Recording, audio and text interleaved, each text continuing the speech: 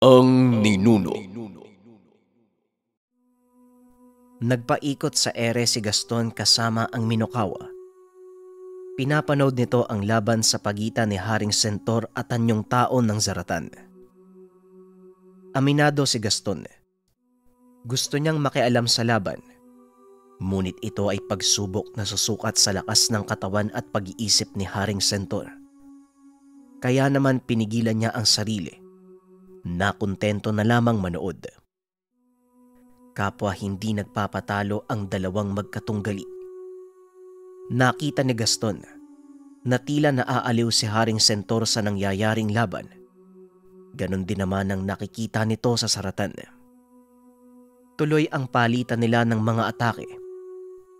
Ngunit napansin ni Gaston na tila hindi nagkakasakitan ang dalawa.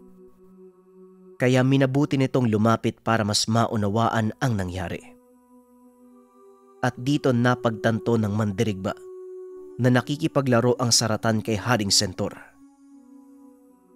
Matagal ko nang inaantay ang gantong laban zaratan. Sa wakas, nakahanap din ako ng katapat. Wika ni Haring Sentor habang patuloy na umaatake. Bagaman hindi nagsasalita, nakita naman ni Gaston ang reaksyon ng saratan na tila natutuwa din sa nangyayaring labanan. Sa kalagitnaan nga ng sagupaan, bigla na naman silang nakaramdam ng malakas na pagyanig. Sabay na uminto ang dalawang naglalaban upang makaramdam.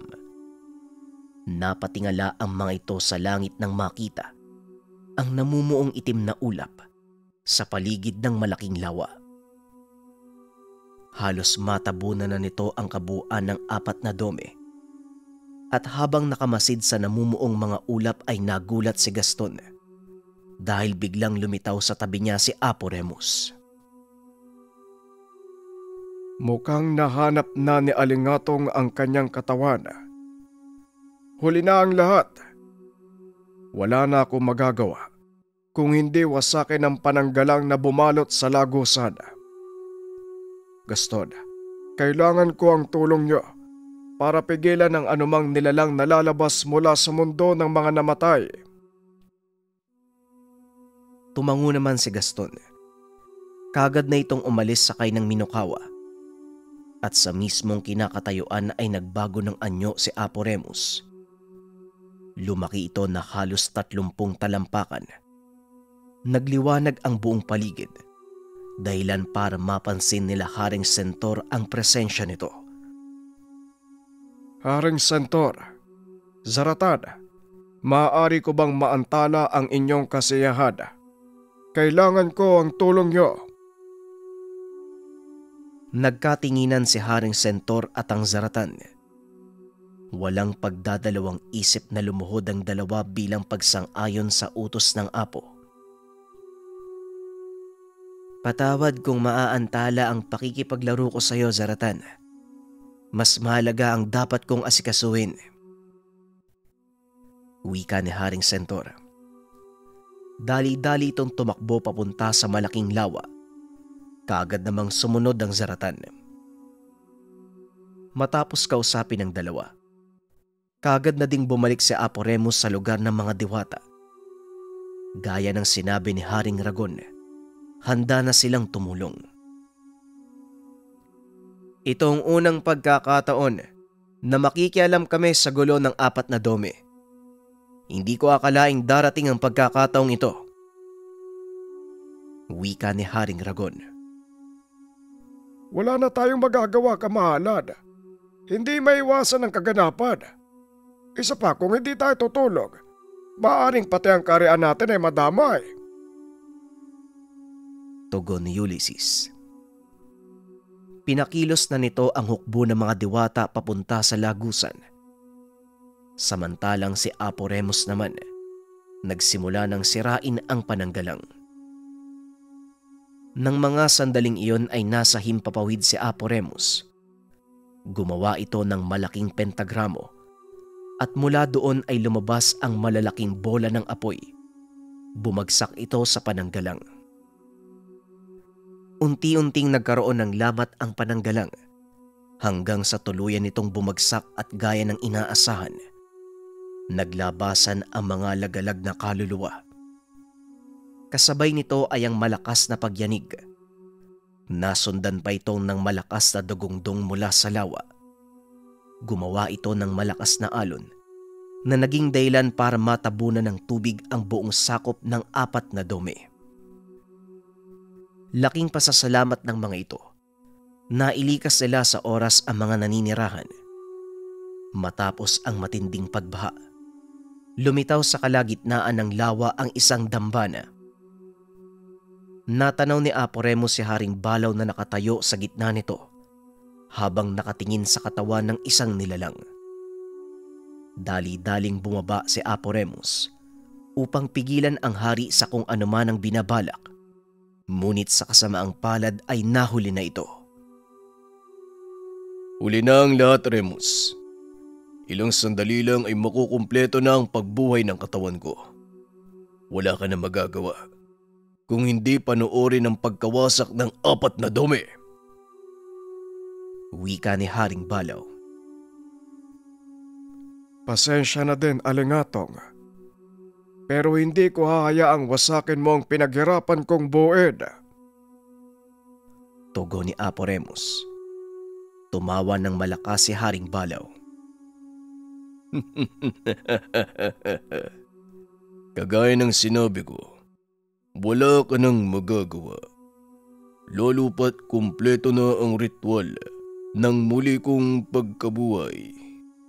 Salamat sa dakila mong alagad Malaki ang naitulong ng katawan ni Haring Balaw sa dikain kong muling bumalik sa mundo ng mga mortal na may katawan. Muling wika ni Haring Balaw. Matapos niya itong sabihin, biglang nawalan ng malay ang hari at tila unti-unting lumipat sa nakaiwalay na katawan ng espiritu mula dito. Ilang sandali pa ay tuluyan na itong bumangon sumigaw ng malakas. Kasabay ng pagsigaw ng nilalang ay ang pagliparan ng lahat ng lagalag na kaluluwa sa paligid. Dali-dali namang kinuha ni Apo ang walang malay na haring balaw. Pinagmasdan nito kung paanong pumasok sa bunganga ng nilalang ang napakaraming lagalag na kaluluwa. Ito yung mga espiritu mula sa lagusan Patuloy sa paglabas ang mga ito na halos walang tigil. Inikot ni Apo Remus ang tingin sa paligid. Nakita nitong nakikipaglaban ang mga kasamahan. Muli niyang ibinaling ang tingin sa dambana. Nakitang unti-unting lumaki ang nilalang habang patuloy na pumapasok sa bibig nito ang mga kaluluwa. Maya-maya ay tumayo ang nilalang Napaatras si Apo Remus dahil halos kasing laki niya na ito. Huminto na din ang pagpasok ng mga kaluluwa sa bunganga. Nagsimula ng mamuo sa kamay ng nilalang ang isang espada na may itim na talim. Naglabasa na din ang apat na pakpak sa likod ng nilalang. Nagbabaga din ang mga mata nito. At habang patuloy na nagbabago ang anyo, Nagpapakawala ito ng malakas na alon ng enerhiya. Dahilan para manghina ang lahat ng nilalang sa paligid. Kagad namang kumilo si Aporemus. Nilagyan ng pananggalang ang kanilang kinaroroonan upang hindi na madamay ang mga nilalang sa paligid.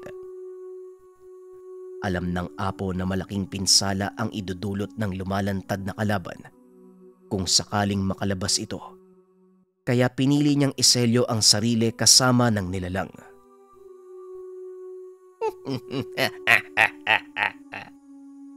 Anong ginagawa mo, Apo Remus? Mag-isa mo kong lalabanan. Nasisiraan ka na ng bait. Sa kasalukuyan mong andas, hindi mo ko kakayanin. Alam mo ang katotohanan ito. Pero ito ka Nagpapakangal. Wika ni Alingatong. Nagkakamali ka kung inaakala mong nag-iisa lang ako. Tignan mo ang paligid alingatong. Nagtutulungan ang mga nilalang na nakatira sa lugar na ito para lang pigilan ang masama mong binabalak. At kagaya ko, handa din silang magbuwis ng buhay upang matalo ka. Tumawa ng malakas si Alingatong. Ibinuka ang kanyang mga pakpak bilang paghahanda. Binunot ni Apo ang dalawa nitong sandatang nakatago sa kanyang mga pakpak. Kasabay ng pagkampay ni Alingatong ng mga pakpak, naglabasan ang matatalas na balahibo. Tumatalsik ito sa paligid. Nagawa namang sanggain ng Apo ang mga atake nito. Ngunit malaki ang pinsalang na idulot ng mga talsik ng peraso ng bagwis ni Alingatong Nanlaki mga mata ni Apo Remus nang makitang nagkakandatuyo ang mga puno. Namamatay ang lupa sa mga lugar kung saan bumabaon ang mga tipak. Ang bawat piraso ng katawan ko, lason para sa lugar na ito. Kaya mag-iingat ka. Wika ni Alingatong. Naging maingat naman si Apo Remus dahil alam nito na sa isang maliit na pagkakamali, maaaring ikapahamak ng maraming buhay. Samantalang sa kabilang dako, patuloy na nakikipaglaban ang mga diwata kasama ang tatlong hari. Unti-unti namang nagkakamalay si Haring Balaw at nang tuluyan itong bumalik sa ulirat. Pinili nitong tumayo Nakagad namang pinigil ng dalawang diwatang gumagamot sa kanya. Ngunit matigas ang ulo ng haring balaw. Nagpumiglas ito. Wala nang nagawa pa ang mga manggagamot. Dali-daling tumakbo ang haring balaw palabas ng palasyo ng mga diwata. At sa kalagitnaan ng daan palabas, nakasalubong nito si Gaston. Huwag mo kong pipigilan dahil hindi ako papayag na wala kong gagawin. Samantalang ang mga kapwa ko pinuno ay nagbubuwis ng buhay. Napangiti si Gaston sa sinabi ni Haring Balaw. Eh sino ba nagsabi sa'yong pipigilan kita? Ito kunin mo. Siguradong kailangan mo yan. Wika ni Gaston. Sabay hagis ng sandata ni Haring Balaw Matapos nitong magsalita, kagad na siyang umalis. Dali-dali namang sumunod si Haring Balaw. Pagdating pa lang sa labas ng palasyo ng mga diwata, sinalubong sila ng mga nilalang mula sa mundo ng mga patay. Sila ay mga lagalag na bangkay. Hindi sila mapapatay ng simpleng atake lang. Dito mo gamitin ang taglay mong espiritual na kapangyarihan. Wika ni Gaston. Tumango naman ang haring balaw. Huminga ng malalim at pinikit ang mga mata. Nagliwanag ang hawak nitong malaking maso. Maging ang mga sungay nito. Nagbago ng anyo. Naging kulay ginto at bahagyang humaba. Mula naman sa likod ni Haring Balaw, lumitaw ang kulay gintong figura ng higanting kalabaw Gawa ito sa purong liwanag. At ayon kay Haring Balaw, ito ang kanyang espiritual na kapangyarihan. Dali-daling sumugod ang gintong nilalang papunta sa mga lagalag na bangkay at pinagsusuwag ang mga ito. Bagamat bangkay na ang natatamaan ng alaga ni Haring Balaw, nagbabalik sa pagiging alikabok ang mga ito. Gumawa ito ng daan para sa kanilang dalawa hanggang sa marating ng mga ito ang hangganan ng teritoryo ng mga diwata. Kailangan kong makarating sa aking dome. Kaya mula dito, iiwanan na kita Gaston. Salamat. Wika ng hari. Kagad na din itong tumuloy papunta sa kanyang dome. Pagkarating sa lugar, natanaw siya ng mga kawal Laking tuwa ng mga ito sa pagbabalik ng kanilang hari. Isa-isang nagpuntahan ang ibang hari sa kanilang teritoryo. Napangiti si Apo Remus nang makita na kumpleto na uli ang apat na hari. Maligayang pagbabalik Haring Balaw. Ngayon mas magagawa ko na ng maayos ang dapat kong gawin. Panatag na akong kikilos dahil alam kong may magtatanggol na sa inyong mga dome. Wika ni Apo Remus Tumawa ng malakas si Alingatong. Ano naman ang magagawa ng apat na hari na yan? Kompleto na ang pagbabagong anyo ko, Remus. Kahit ikaw na pinakamalakas sa lahat ng mga diwata, walang magagawa. Yan pa kayang may hinang uri. Wika ni Alingatong. Maaring tama ka. Hindi ka nga matatalo ng aking apat na hari. Pero parang may nakakalimutan ka yata.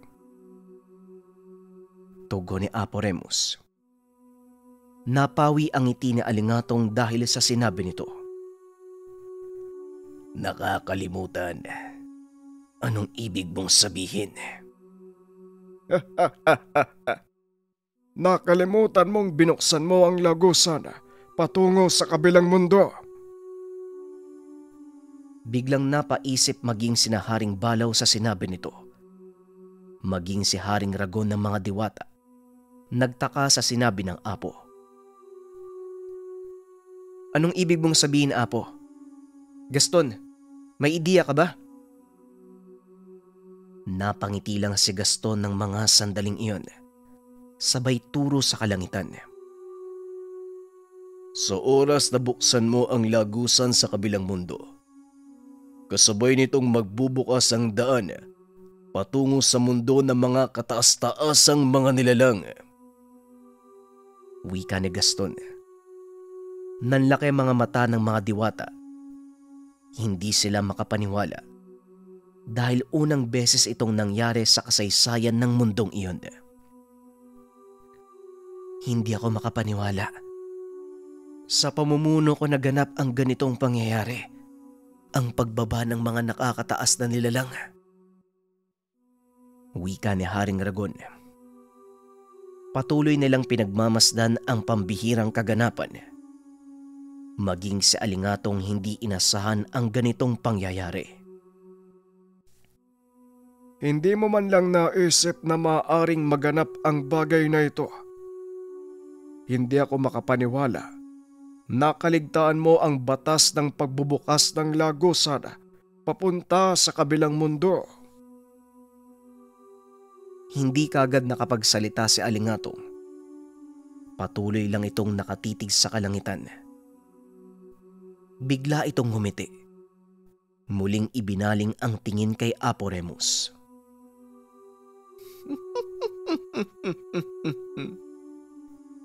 Nagkakamali ka, Apo.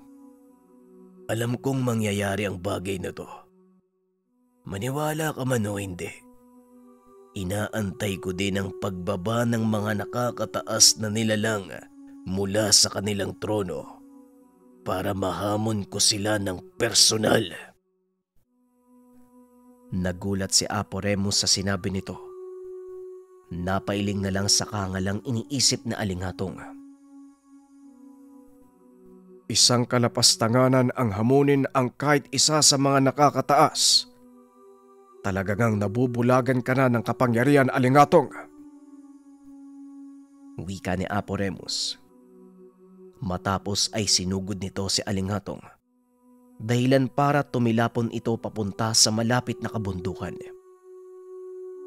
Akmang tatayo pa sana si Alingatong nang bigla siyang paulanan ng apoy ni Apo Remus.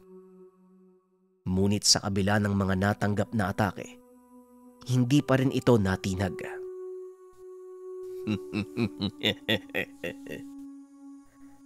ano mang gawin mo, Apo Remus, hindi mo na mapipigilan ang mga magaganap. Pagmasdan mo ang kapaligiran, tignan mo ang pinakamamahal mong apat na dome. Wala na ang pinangangalagaan mong balanse at kaunting panahon na lang. Tuluyan ko nang mapapakawalan sa mundong ito ang galit ng mga elementong ikinulong nyo sa mundo ng mga namatay. Wika ni Alingatong. Inikot ni Apo Remus ang tingin sa paligid. Nakita ang napakalaking pinsalang idinulot ng kanilang labanan. Dahilan para mas lalo itong magalit kay Alingatong. Pagbabayaran mo ang ginawa mo, Alingatong. At kung kailangan kong ialay ang buhay ko, hindi ako magdadalawang isip. Masigurado ko lang na hindi ka na makakabalik pa sa mundong ito o kahit saan man. Tugon ni Apo. Matapos magsalita ay biglang yumanig ang paligid. Itinaas ni Apo ang kamay. Mula dito ay lumitaw ang malaking pentagramo. Mula sa pentagramong iyon, lumabas ang isang gintong sibat. Habang pababa sa kamay ng apo, sinusundan ito ng kidlat. Nang mawakan na ito ni Apo Remus, biglang nagliwanag ang mga simbolo ng apat na dome. Napansin naman ito ng apat na hari. Nagkatinginan ang mga ito alam ng apat na pinuno ang ibig sabihin ng pagliwanag ng kanilang mga simbolo. Isa-isang nagpuntahan ang apat na hari sa kanilang mga teritoryo. Inilapag ang kanilang mga sandata sa dambana. Ang mga sandatang hawak ng apat na pinuno. Pinagkaloob ni Apo Remus. Apat na sandata ang sumisimbolo sa apat na elemento. Masong gawa sa bato pagmamayari ni Haring Balaw, sumisimbolo sa elemento ng lupa. Sibat na may tatlong talim, pagmamayari ni Haring Bungisngis, simbolo sa elemento ng tubig. Panang pagmamayari ni Haring Sentor, na sumisimbolo naman sa elemento ng hangin, at ang espadang pagmamayari ni Haring Tikbalang, sumisimbolo sa elemento ng apoy nang mailapag ng apat na hari ang kanilang mga sandata. Biglang bumulusok pa itaas ang apat na haligi ng liwanag. Umabot ito sa kalangitan na nagbigay ng daan para mas lalong mabuksan ang trangkahang nag-uugnay sa mundo ng mga elemento at mundo ng mga celestial. Ang apat na hari ng dome ang may hawak sa susi para tuluyang mabuksan ang trangkahan ng kalangitan. Inilagay mo ko sa sitwasyon na wala kong pagpipilian kung hindi hayaan ng mga celestial ang humusga sa iyo. Ito ang kabayaran ng pagangad mo ng kapangyarihan. Wika ni Apo. Sa pag-uutos ng Haring Bungisngis, binalot ng malalaking baging ang paa ni Alingatong. Kasunod dito, ang pagtusok ng matatalas na bato sa kanyang mga kamay. Ito yung kapangyarihan ni Haling Balaw. Pinilit makawala ni Alingatong, ngunit sa tuwing susubukan nitong kumilos, mas lalo lang humiigpit ang baging. Nadadagdagan ang mga matatalas na batong tumutusok sa kanyang katawan. Tumatagas ang lason sa katawan nito at gamit ang kapangyarihan ng elemento ng tubig at apoy, kagad itong nahuhugasan. Ito ang pinagsama-samang kapangyarihan ng apat na dome. Tanggapin mo ang kaparusahan ng kalangitan, Alingatong. Ang sampung kamatayan ng katawan at kaluluwa. Matapos itong sabihin ni Apo Remus, bumaba mula sa kalangitan ang malaking gintong sibat. Tumarak ito sa katawan ni Alingatong dahilan para tuluyang masunog ang katawan nito. At habang nangyayari iyon, bumaba ang isang nilalang na nababalot ng gintong liwanag. Ito ang kabayaran ng mahabang panahon mong paghahangad ng kapangyarihan. Tanggapin mo ang kaparusahan ng kalangitan. Wika ng nilalang maging si Apo Remus ay napaluhod ng makilala kung sino ito. Isang karangalan ang makita kayo, Apo Adlaw. Lumingon ito sa kanya at ngumiti. Ganon din ako, Apo Remus. Salamat sa walang sawa mong pangangalaga ng balanse ng mundong ito. Ako na ang bahala kay Alingatong. Ngayon sikapin mong ibalik sa kaayusan ang mundong ito. Matapos magsalita, kagad siyang bumalik sa kalangitan. Kasama ang katawan ni Alingatong. Ilang sandali pa ay tuluyang naglaho ang liwanag. Naisara din ang lagusan papunta sa mundo ng mga patay at ang mga nilalang na nakalabas ay isa-isa ding naglaho. Nagbalik din sa dating anyo si Apo Remus. Kinausap nito ang apat na hari. Alam kong magiging mahirap na maibalik sa dati ang itsura ng apat na kahariada. Pero malaki ang tiwala kong gagawin niyo ang lahat para mangyari ito. Wika ng Apo. Sa pagkakataong iyon ay sumagot si Haring Ragon. Simula ngayon, kabilang na ang karian ng mga diwata sa doming ito. Tatanggalin ko ang hangganan mula sa teritoryo ng mga diwata at ang aking nasasakupan ay magiging ikalimang dome. Sumang-ayon si Apo Remus sa sinabi ni Haring Ragon. Nagtulungan ang lahat upang maisaayos ang mga nasira sa mundong iyon. Hindi pa natatapos ang kwento ko sa kamatayan ni Alingatong. May mas malaking panganib pa ang nagbabadya. Wika ni Nanang Salve. Muli itong nagpatuloy sa pagsasalaysay. Mahabang panahon ng kapayapaan ang umiral sa apat na dome. Nagkaroon ng kasunduan sa pagitan ng apat na hari para sa kapayapaan. Hindi ako makapaniwalang sa wakas. Magiging mapayapa na ang ating mga kaharian. Wika ni Haring Balaw. Maging ako kaibigan. Hindi ko akalaing magkakaharap tayo sa bulwagang ito habang nagsasalo sa isang mapayapang ngapunan. Tugon ni Haring Santor. Marami tayong napagdaanan, ngunit nagawa natin itong lampasan. Masaya kong nakamit natin ang kapayapaan at pagkakapantay-pantay. Wika ni Haring Tikbalang. Masaya ako dahil sa wakas. Makakakain na uli ako ng masarap na pagkain mula sa kusina ng mga sentor. Wika ni Haring Bungisngis habang nakaharap sa bulwagan ni Apo. Habang nagkakasayahan ang lahat, dumating naman ang hari ng mga diwata. Pagbati sa mga dakilang hari ng apat na dome. Eto, tanggapin niyo ang munti naming alay. Gamitin niyo ang mga bakal na ito para maisaayos ang inyong mga karian. Napalingon si Haring Balaw. Binati si Haring Ragon.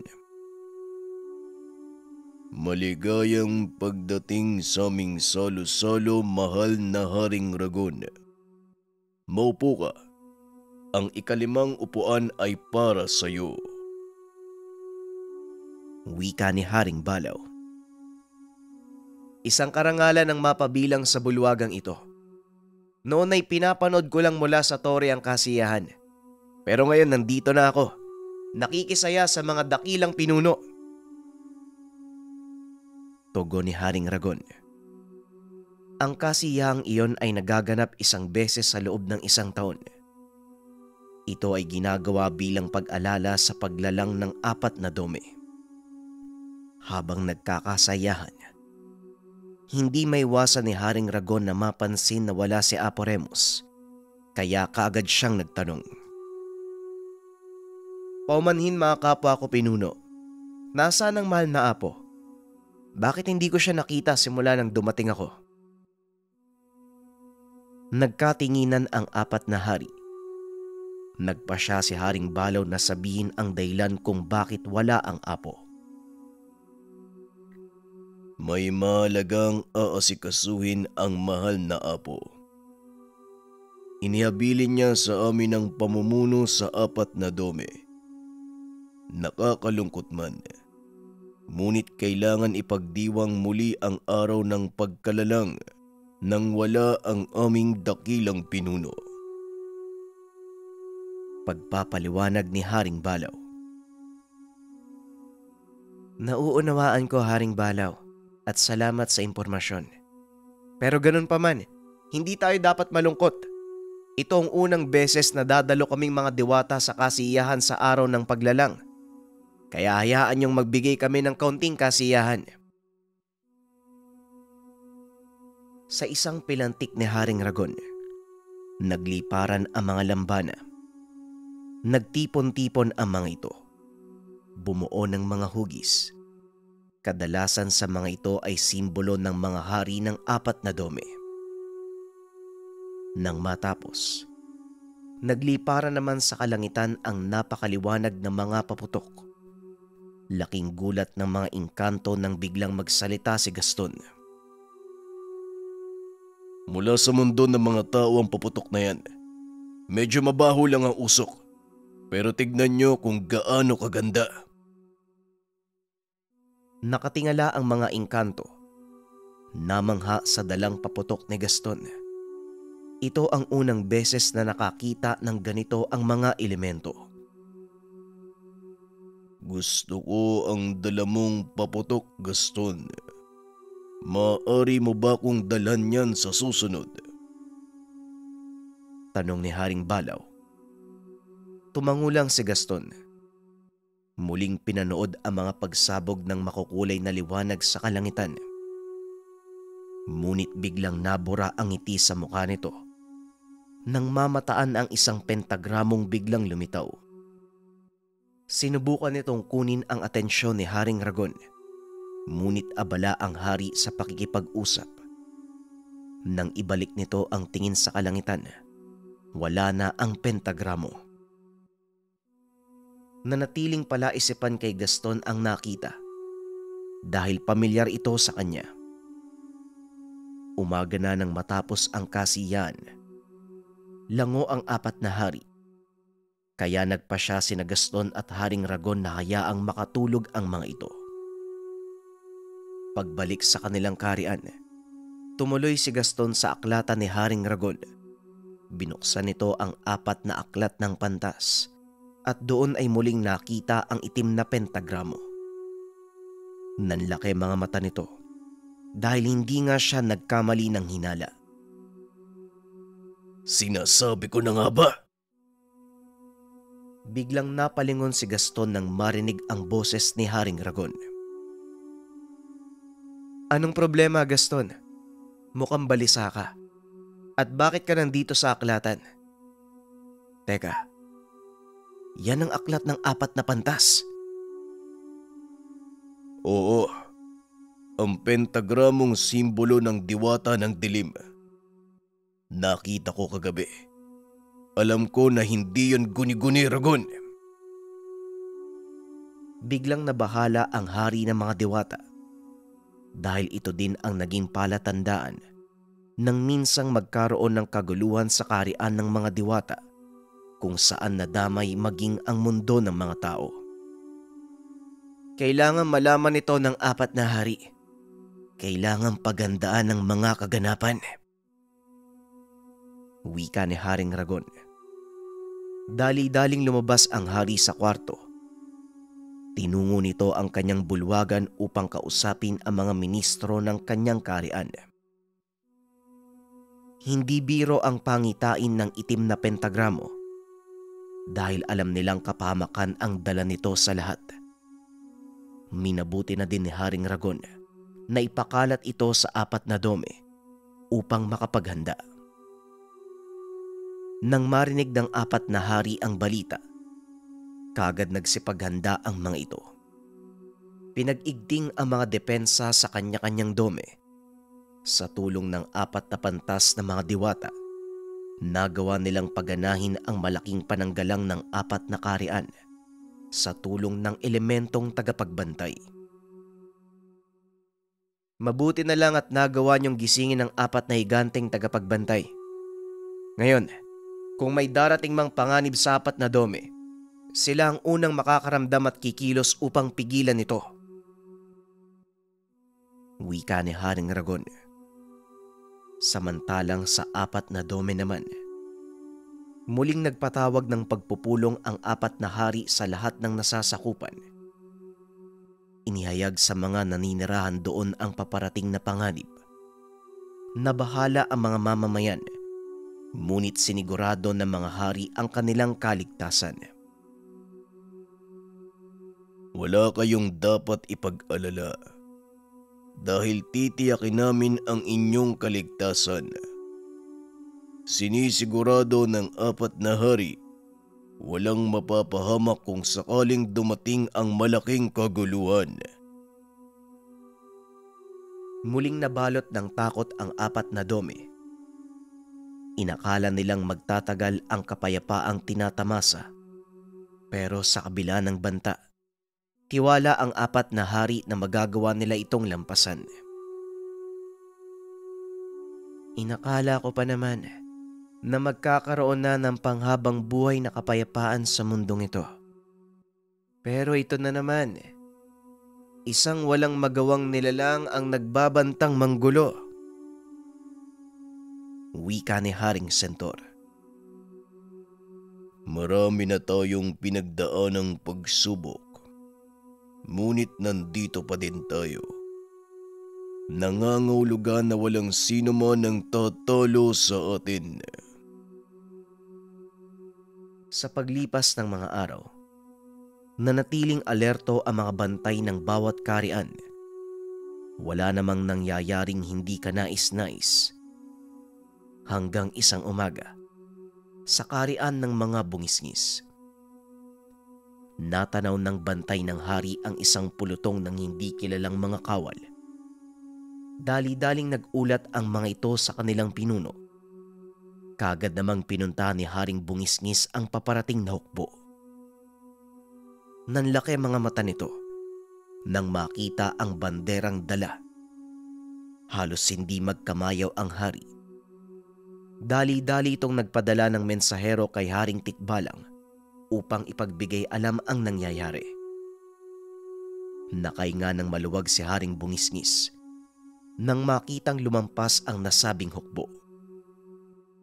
Ilang sandali pa, dumating ang haring tikbalang kasama ang ilang piniling mga mandirigma. Totoo ba ang sinabi ng mensahero mo, Haring Bungisngis? Nasaan ang hukbo ni Karim? Tanong ni Haring Tikbalang. Dumaan lang sila sa aking karyada. Patungo sila sa ilagang silangan sa wari ko ay pupunta nila ang mahinang sakop ng karian ni Haring Sentor. Ipinatawag kita, hindi dahil kailangan ko ng tulog, kundi nais kong ipagbigay alam mo sa Haring Sentor ang paparating na panganib. Wika ni Haring Bungisngis. Huwag kang mag-alala, Haring Bungisngis. Alam kong nakahanda si Haring Sentor sa maaaring mangyari. Ito ang pinakahinihintay nating kaganapan. Muli na namang nagpakita ang hukbo ni Karim. Wika ni Haring Tikbalang. Matapos mag-usap ng dalawang hari, kagad nang umalis sa mga tikbalang upang subaybayan ang kilos ni Karim. Kaunting kalaman, Si Karim ay general na namumuno sa mga kawal ni Dulum. Ang pagpapakita nito, nangangahulugang inihahanda nila ang muling pagbabalik ng kanilang Panginoon. Ilang mensahero na din ang pinadala sa apat na karian upang hanapin si Apo Remus.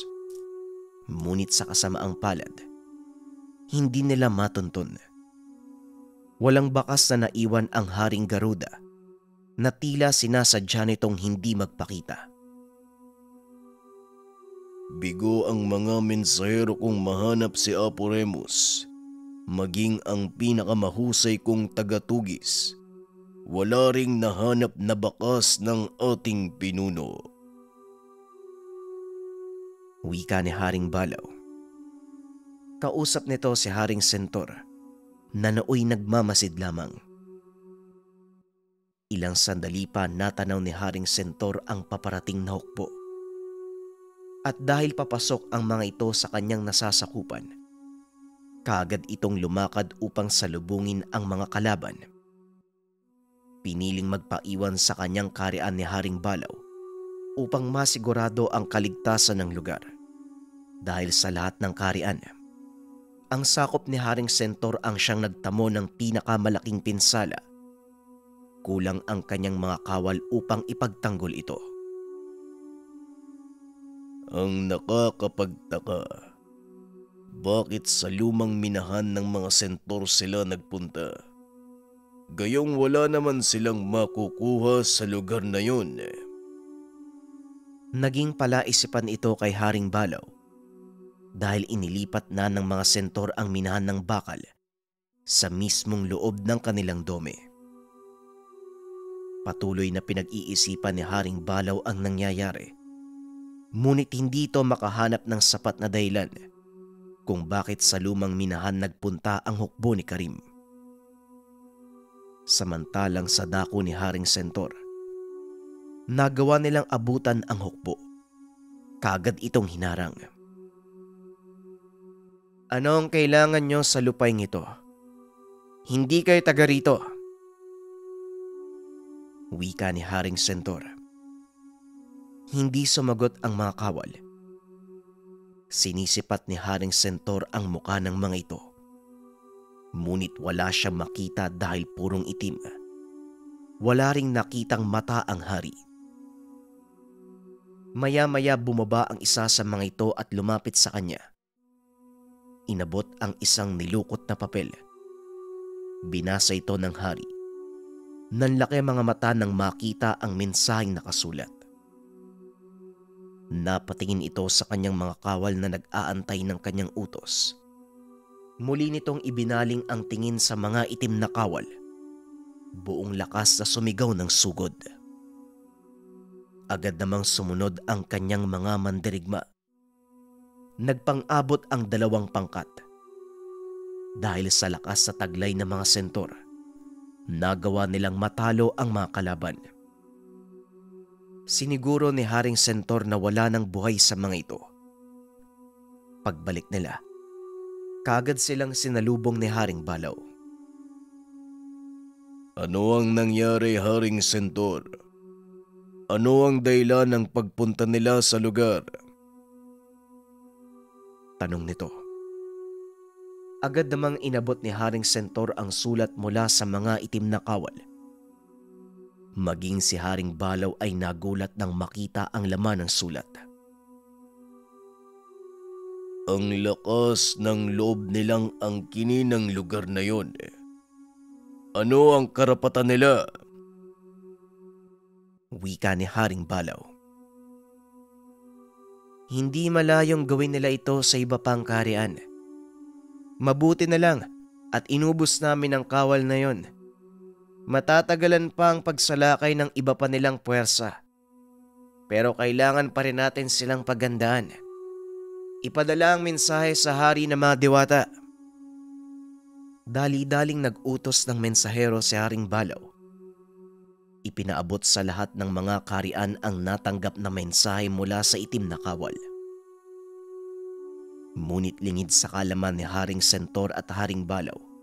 Nagsimula ng manakop ang mga ito sa iba pang panig ng apat na dome. Laking gulat ng dalawa nang makatanggap sila ng mensahe mula naman kay Haring Bungisngis na nakatanggap din ito ng parehong sulat. Ang nilalaman ng sulat na yun, utos ng pagsuko ng kanika nilang teritoryo sa itim na hukbo Maya-maya pa dumating ang mensahero ng mga tikbalang at gaya nila. Nakatanggap din ito ng parehong sulat.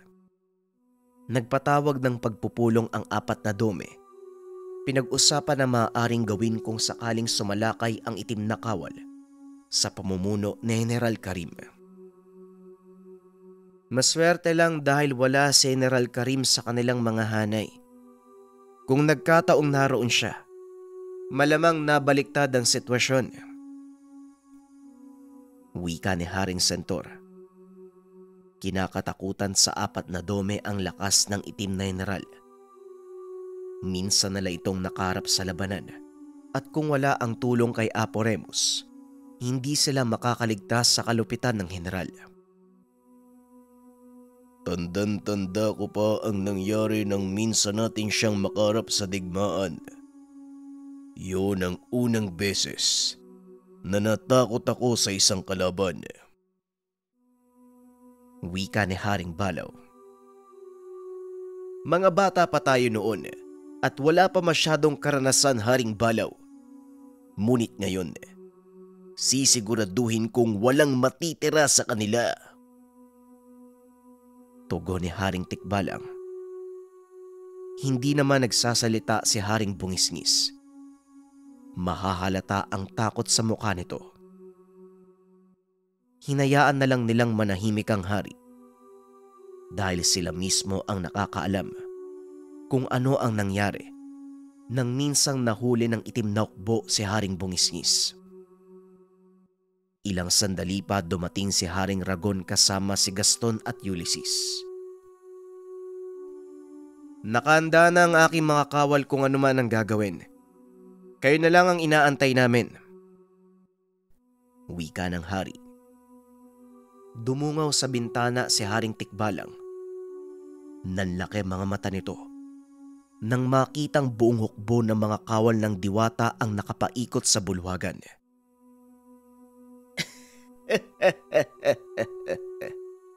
Kasama mo ang buong hukbo. Gaano ba kalaki ang hukbo ni General Karim? Tanong ng Haring Tikbalang. At sa kalagitnaan ng kanilang pag-uusap, isang malakas sa dagungdong ang narinig. Isa-isang nagsipagdungaw ang mga hari. Nakita ang napakalaking pentagramong lumitaw sa kalangitan. Ito ang pentagramong nakita ni Gaston nung nasa pagdiriwang sila ng araw ng paglikha. Maya-maya pa naglitawan mula sa kalangitan ang napakaraming itim na mandirigma. Ilan sa kanila ay may mga pakpak. Ang ilan naman ay nakasakay sa mga lumilipad na nilalang.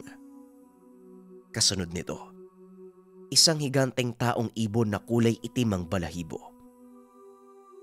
Pinagmasda ni Gaston ang apat na hari Kitang-kita ang takot sa mga ito. Ano bang meron sa nilalang na yan? At bakit ba? Takot na takot yung hari ng apat na dome? Tanong ni Gaston. Yan si Dolom. Siya ang bathala ng pagkawasak at kadiliman. Siya din ang nagbigay ng kapangyarihan ni Alingatong.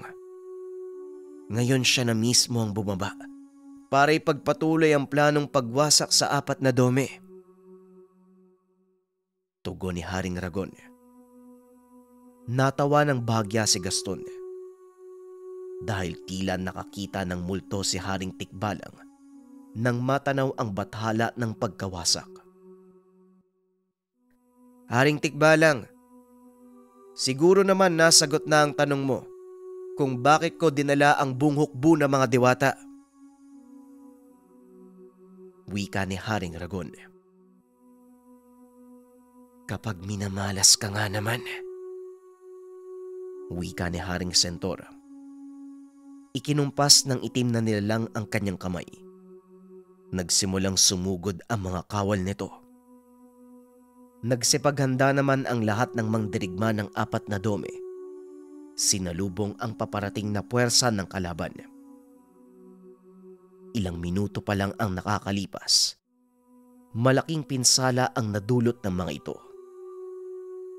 Nabalot ng pangamba ang paligid dahil alam nilang wala silang laban sa puwersa ng bathala. Idagdag mo pa ang walang awa nitong general. Nasana ang pinagmamalaki niyong pinuno. Bakit hindi siya magpakita ngayon? Kung nakinig lang sana kayo sa babala ko, hindi na tayo aabot sa ganito. Wika ng malaking nilalang. Nanatiling nakatayo ang mga hari habang nakikitang unti-unting natatalo ang kanilang hukbo. Hindi na ako makatisa. Kung naaatim yung manood, pwes ako hindi. Wika ni Gaston. Tinawag niya ang Minokawa. Ngunit nang lilipad na sana ang Minokawa, bigla namang nagpakita sa kalangitan ang isang malaking nilalang. Natanggal ang takot ng mga ito nang biglang lumitaw ang isang pamilyar na pentagramo. Si Apo Remus. Magsipaganda na kayo. Susugod na tayo. Wika ni Haring Balaw at mula sa pentagramo. Naglitawan naman ang mga gintong kawal. Lumapag si Apo Remus sa kanilang harapan at nagsalita. Pasensya na kung matagal akong nawala. Kinakailangan ko pang kunin ang loob ng mga gintong kawal upang hikayatin silang lumaban sa panig natin. Matapos magsalita ng apo, kagad itong lumipad papunta sa kinaroroonan ni Dulom. Halos magkawig ang dalawa. Ang pinagkaiba nga lang, ang kulay ng bathala ng pagkawasak. Halos kasing itim ng kadiliman. Mata lamang ang nagliliwanag. Sa sobrang bilis ni Apo hindi napansin ni Dulom ang pagdating nito. Isang malakas sa suntok ang binitawan niya. Dahilan para tumalsik ang bathala ng pagkawasak papunta sa isang bundok. Dali-dali naman itong bumangon upang gumanti. Ngunit sinalubong siya ng apoy mula sa Minokawa. Sunod-sunod na umatake ang iba pang tagabagbantay ng apat na dome. May isang bagay kang nakalimutan, Dulom.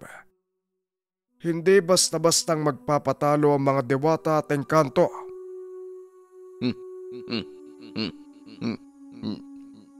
Hindi ko alam kung bakit pilit kang kumakampi sa mga mabababang uri ng nilalang Remus. Isa kang bathala. Ano ang makukuha mo sa pakikitungo sa mga ito? Tanong ni Dulom. Wala sa katayuan ang pagmamalasakit at pangalaga ng balanse ng mundo, Dulom. Nagpa siya kong pumanig sa mga sinasabi mong mababang uri dahil sa kanila ko nakita ang pagpapalaga sa buhay. Akbang tatayo pa sana si Dulom nang bigla siyang hampasin ng buntot ng zaratan dahilan para muli itong matumba. Huwag ka nang tumayo pa at lumaban, Dulom.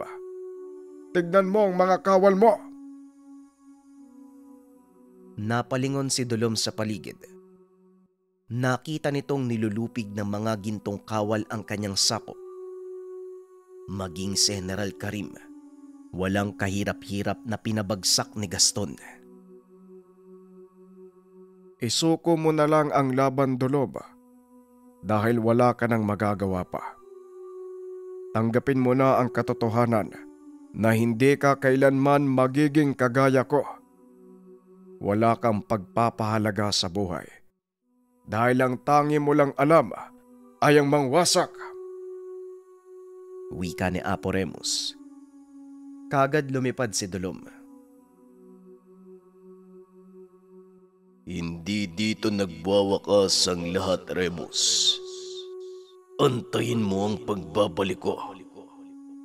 At sa oras na dumating yon, sisiguraduhin ko na ikaw ang magmamakaawa sa akin.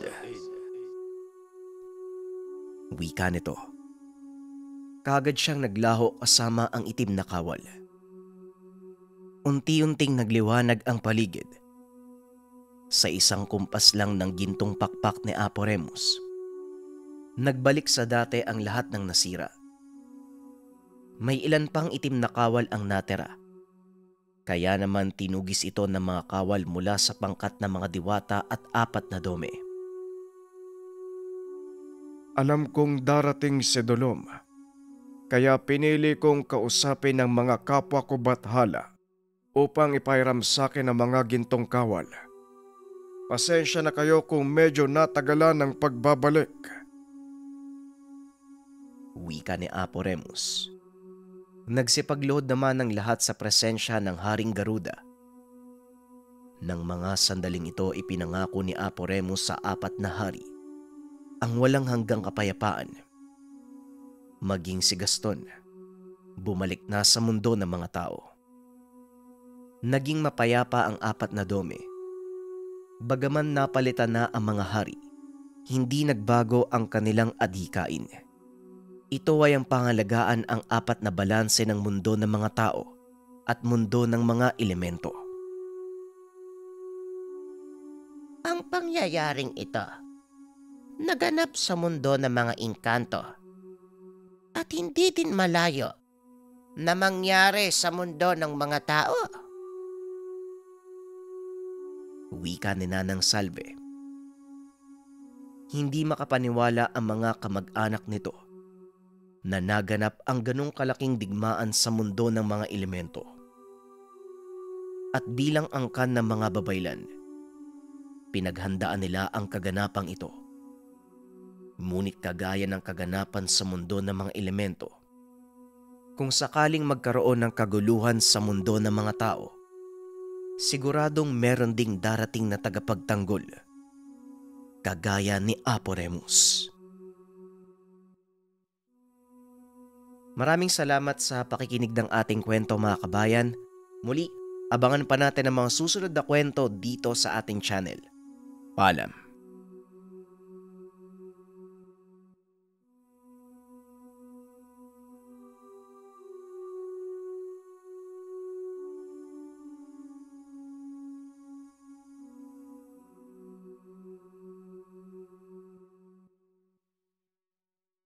Ang Ninuno